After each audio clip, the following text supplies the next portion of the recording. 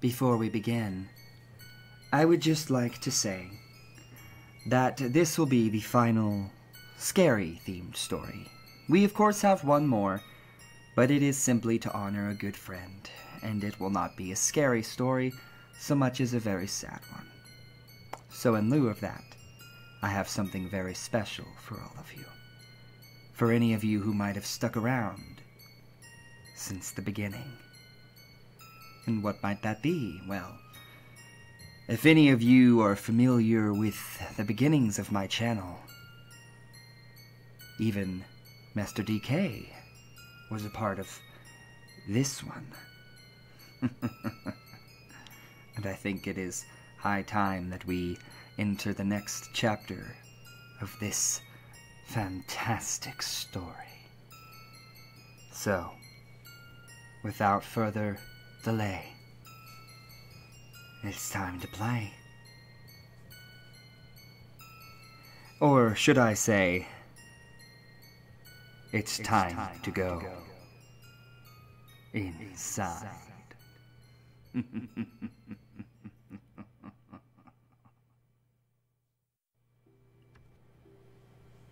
Most of the laugh tracks on television were recorded in the early 1950s. These days, the people you hear laughing are dead. Chuck Palahniuk, Lullaby.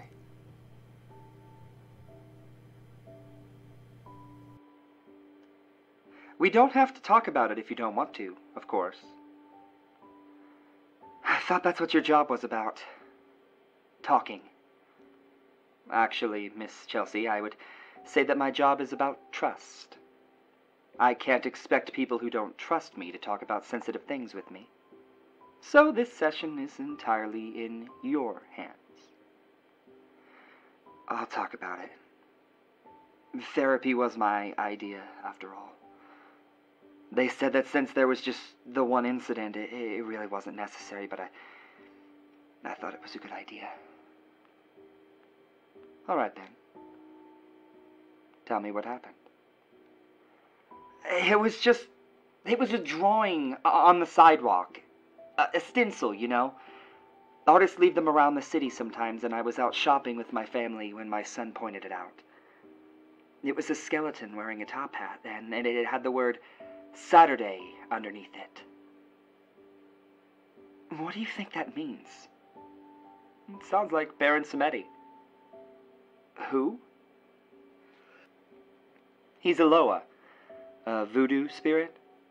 Watches over the dead and usually represented by a top hat and a skull. Samedi means Saturday, so this drawing frightened you? I had a kind of fit when I saw it. They called it an anxiety attack. They even took me to the hospital. And what did they find out?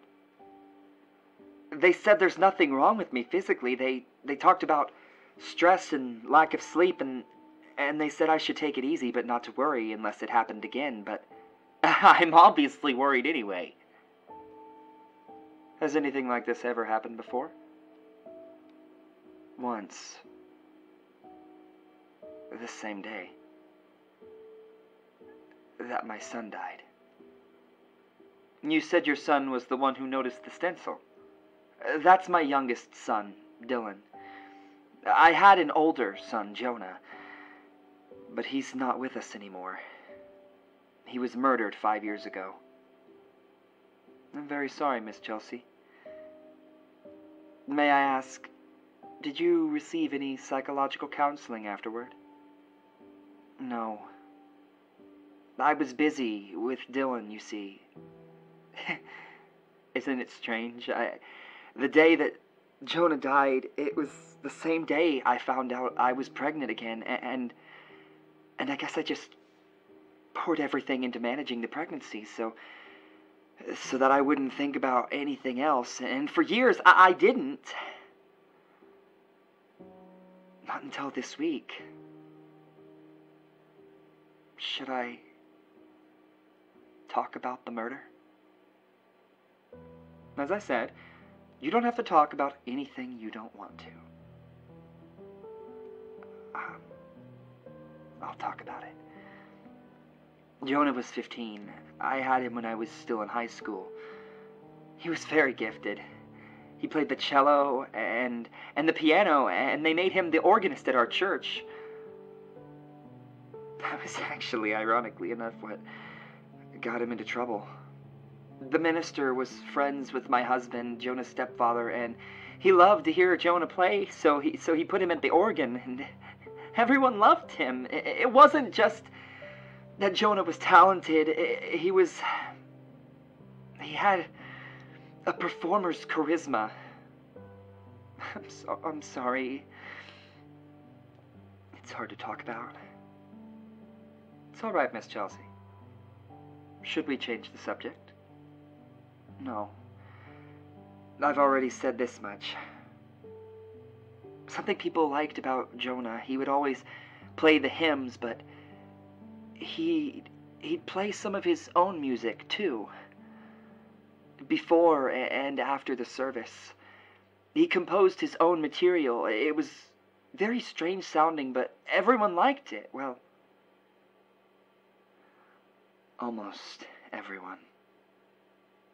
One day, a man came to us after church and told him to stop. Told him to stop play? Told him to stop playing his own music.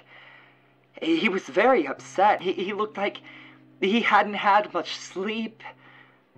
He might have been drunk. He, he told us that the song Jonah played that day was wrong somehow. That it was driving him crazy. He was he was screaming at us in the parking lot, telling us that we didn't realize what we were doing, that, that he'd spent his whole life trying to get away from that music. It, it didn't make any sense. Tell me about the song.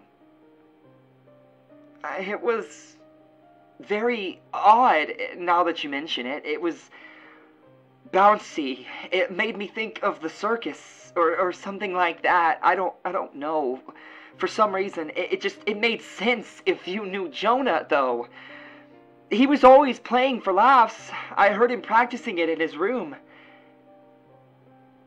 But it, it made me feel unsettled the first time I heard it. Hmm. And what about this man? Well, that day in the parking lot, he just ran off after scaring the daylights out of us, but the next week, he came back with a gun. Miss Chelsea. It was the Day of the Dead, November 1st. I remember that. Someone had left something on the organ for Jonah as a, as a joke, you know? Those those Day of the Dead decorations, the, the little statuettes of skeletons doing everyday things, skeleton housewives cooking for a skeleton uh, husband, or, or a skeleton barber with scissors and a razor, or, or a therapist. Huh? Uh, I I have one that's a skeleton therapist with a skeleton patient on his couch. Uh, a client gave it to me. It's actually quite funny. Oh. Well, this one was a skeleton playing the piano. Jonah thought it was hilarious. He showed it to everybody. Nobody would admit to leaving it, and then he started playing. Everyone was enjoying it. He was he was coming to the end of the song, and then that man from the week before stood up, and then Where's the man now, Miss Chelsea?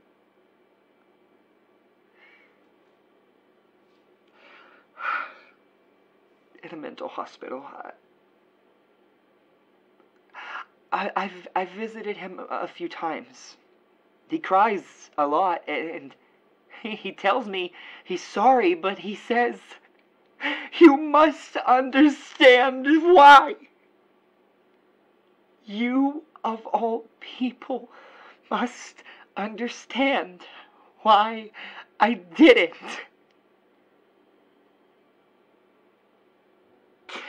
I don't know why he says that. But the thing I remember about that day now that I, I never remembered before is that little Day of the Dead statue. The skeleton.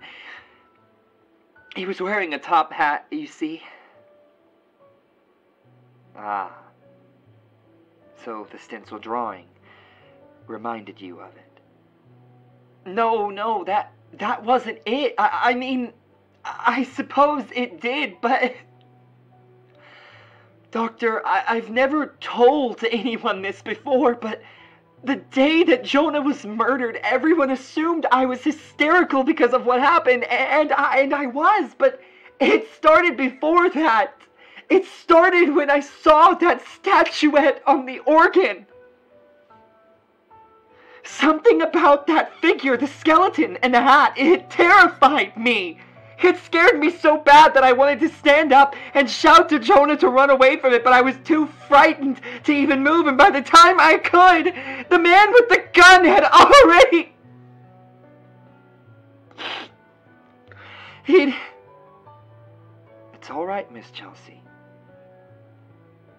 But you're sure that your fear response started before the shooting? Not after? Yes! Yes, yes, I'm sure. Hmm. So the skeleton in the hat, that that image upsets you? Do you know why? I can't imagine. Can you think of the first time you ever saw it? Well, when I was a child, I used to have a nightmare. Uh, there was a little girl in a room. Was it you? It might have been, but it's hard to tell. Whoever she was, she was in a dark room and she was crying, and then all around her there were these, I guess, puppets or, or, or dolls, and they were screaming. The puppets were screaming. Yes, yes, all, all of them screaming and screaming, and and the little girl was cr- was crying. Did you have this nightmare a lot? All the time. When I was five. What does this have to do with the skeleton and the top hat? That was one of the puppets. That's the first time I, I can remember seeing the image. Well, not seeing exactly, but that's my earliest memory of it. I see. And what did your parents do when you told them about this dream? They took the TV away. Why? They said that I had the dream because of something I saw on TV. Do you remember that? No. And I didn't at the time I, either, but they insisted. It was actually very strange, and now that I think about it, it, it seemed to scare them somehow. It's, it's hard for me to remember. I was so young, you know? Of course. Do you still have the stream? No. That is. Not until recently. But you have had it again. Yes. Just after the stencil drawing and the anxiety attack, that. that same night actually, but only that once, and then. That was the first time in God, 40 years, I guess. It's normal, right, to have that, that dream again after seeing something that reminded me of it? We don't really tend to deal in words like normal or abnormal here, Mrs. Chelsea.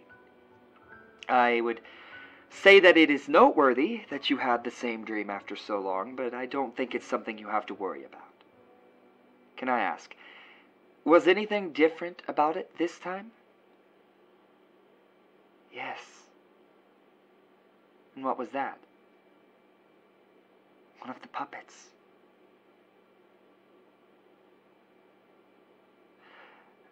It looked like Jonah. It's all right to cry, Miss Chelsea. Here, dry your eyes. I can imagine it was very upsetting, but it's important to remember that dreams are your mind's way of telling us something.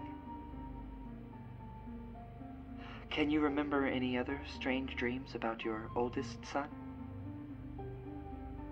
For a while, right after he died, I would have one where I was standing on the shore, watching him sail away on a big ship. That's a very common image.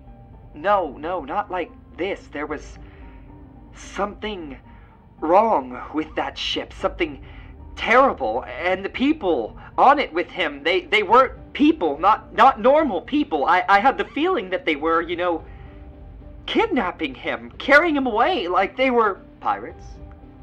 Yes, that's it. And I heard music too, strange, jumbled circus music. It, it sounded a little like the song that Jonah played in church, and you know, come to think of it, he told me that the song came to him in a dream first. It might even have been a dream about his ship.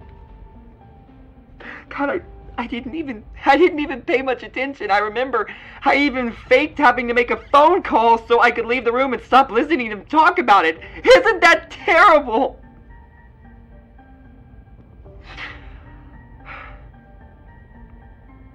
But at that time that hearing about his dreams it upset me very much. Let's move on. Have there been any other incidents lately that have upset you? Anything unusual that's disrupted your regular routine? I'm not sure what's important. Anything might be important. We won't know for sure unless we talk about it. Well, a few weeks ago, this was before the panic attack, I was at a toy store trying to find something for Dylan. He was turning five that week, and I found this thing. It was a doll, you know, but not a normal one. It was like a little pirate, but its head was from a porcelain baby doll, you know, the old kind. It looked something like a serial killer had made in their basement. And that bothered you? Well, it was horribly ugly. I asked the owner, and she said she'd found it when she was cleaning out the storeroom. She had no idea where it had come from. She wasn't sure whether she should sell it or not. I told her to throw it away. It scared me.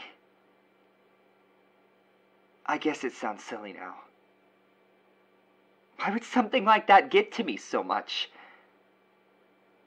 To grind your skin. What? I said things get under your skin. I, I thought you said. Never mind. There was something else odd, too. As I was cleaning my son's room the next day, I, thought I saw that same doll in there. Thought you did? As I was cleaning under his bed, something caught my eye. It was that red bandana. And I saw that doll's little face staring at me with those cracked, painted eyes, and I swear I just about screamed. But when I looked under the bed again, it wasn't there. And I told myself I just imagined it, but. Are all these things really important? Oh, yes, Miss Chelsea. I'd say we're making great progress. With these sort of things, you have to go inside. What did you say? You have to go inside of your mindset, you know, inside of your issues. But why, why did you say it that way the first time? I'm not sure what you mean. Doctor, I. Let's move on. It seems your anxiety is being triggered by some very specific imagery. Tell me when else it's come up. I. Tell me, Miss Chelsea. Please. My neighbor. She had Halloween decorations up on her house for weeks, and then there was this one kind of skeleton that hung in her window, the sort of thing that you'd buy at a drugstore the time of year. It startled me when I looked out my window and saw it. It was like it was looking into my house. It had big glass eyes that were too large for its skull, and it bothered me. I had such a strange feeling when I saw it. The first time, I thought to myself, He's found me. It just popped into my head, and a second later, I couldn't have told you what it meant. But that's not what scared me. What did? My neighbor took all the other decorations off of her house after Halloween, but she kept that one. And every morning I would see that thing staring into my window, and finally, one day I mentioned it to her, very casually, you know, that it was almost Thanksgiving, and she really ought to take that last Halloween decoration down, and she said, I don't know what you're talking about. It's been gone for weeks. Was it there when you looked out the window again? No. Do you think it was ever really there to begin with? I don't know. What else has been on your mind? Dylan. He's a very bright child, like his brother. And they look alike, but he's not a musician. Instead, he draws. Has he been making strange pictures? How did you know? Lucky guess. Do go on, Miss Chelsea. I feel. I feel sick. I, I feel like. The room is moving. It's your imagination. Tell me about Dylan's pictures. They're of a sailing ship, but not of a normal one. It, it has, you know, a figurehead at the front of it that's that's big, and it talks. The figurehead talks. Yes. How do you know that if it's just a picture? I, just, I just do. And he's been drawing it for weeks and weeks, over and over, and sometimes he draws other things too, strange things, terrible things. But things you recognize. Yes. Where have you seen these things before, Miss Chelsea? In my dreams. And. And on the television. When I was five, the, the show, it came on every day, and I was scared of it, but I watched it anyway, and when I tried to get my parents to watch it with me, they said. They said. What did they say? That there was no show! And I didn't understand what they meant, and, and that's when the nightmare began. And I remember now. That's where I heard the song. The strange one that Jonah had played. That's why I was upset when I heard it because it reminded me of the show. And I thought maybe that's that's why the man at the church was upset by it too. I guess as I grew up, I kind of forgot about the whole thing, but but you didn't forget, did you? You never forget the things that are really important in childhood. I guess you don't. And we didn't forget about you either. What? I said they didn't forget. No! No, no, you, no, you didn't! no, you, no, you didn't. You said, you said we, you said we didn't forget about you.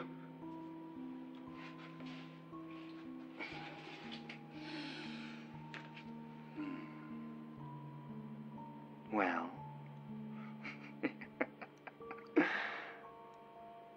it's true. We didn't forget. We've been waiting for you, Janice. All this time. Dr. Horace, why are you laughing like that? Dr. Horace! I, I am not a doctor. And you see this, this isn't a doctor's office. No, no, it's not a doctor's office at all, is it? It's the cabin of a ship. Why, that's why it's moving. That's why you started to feel seasick. What's going on? You're off on an adventure on the high seas, Janice. Just like the ones on television when you were a little girl. The ones we made just for you. Stop talking like that! Stop calling me that! My name isn't Janice! But it could be. You'd make as good a Janice as anyone. And think how much better life would be if you were here. Janice never had a murdered son. Janice never had to worry that she was losing her mind. Janice only had adventures all the time. But they, they were so awful, so frightening. Well, being a child is always a little frightening, isn't it, Janice? But you won't be alone here. All of your old friends are on board, and we even have some new ones too. Even Jonah is here. Jonah? Oh, why, yes. He's been just the best little crew member for us, and he's been waiting for you, Janice. Just think about how wonderful it will be to see him again, and to see everyone else too. All one big happy crew together. What about Dylan? Your other boy? oh, don't worry about him. We'll get around to him in due time. Ah. But do you hear that, Janice? I. I hear a voice. Yes. And what is it telling you? I, I don't want to listen to it. I don't want to be here. I want to go home. This is home, Janice. This is the home we made for you. The home that's been waiting for you. The home that you'll be in forever and ever. The voice that you hear. Why, that's the voice of your new home. And what is it saying? I. What's it saying, Janice? It's saying that. I have to go inside.